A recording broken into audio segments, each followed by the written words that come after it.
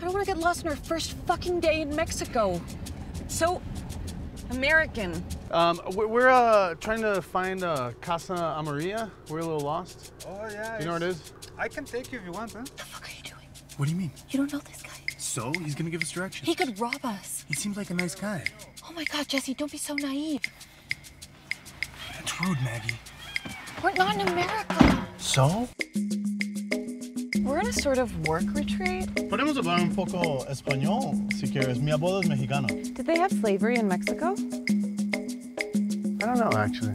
Good question. This is some Pablo Escobar shit. Are you sure this is it? Pinches gringos impuntuales. You remember I told you I was a filmmaker, right? I've got some fucking amazing news. I've got the story. My story?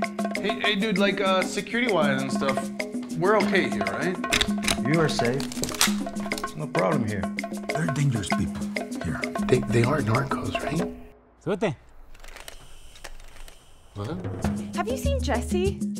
He's not with you? Hey, honey. Looks like you and the boys stayed out. Where's my husband? Who the fuck is Doncello?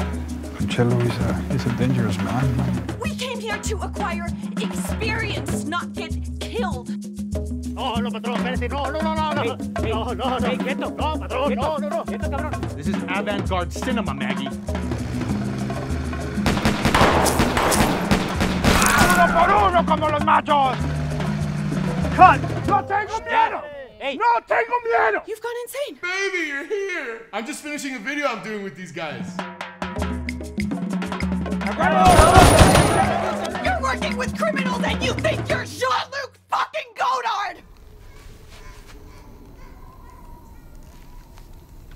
Cut!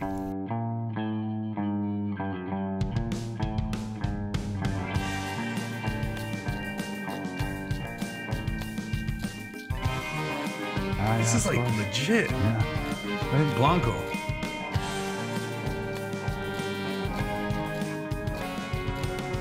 This your property, mister? Salte de mi propiedad o te meto un plomazo, cabrón. I'm here to pick up my sister.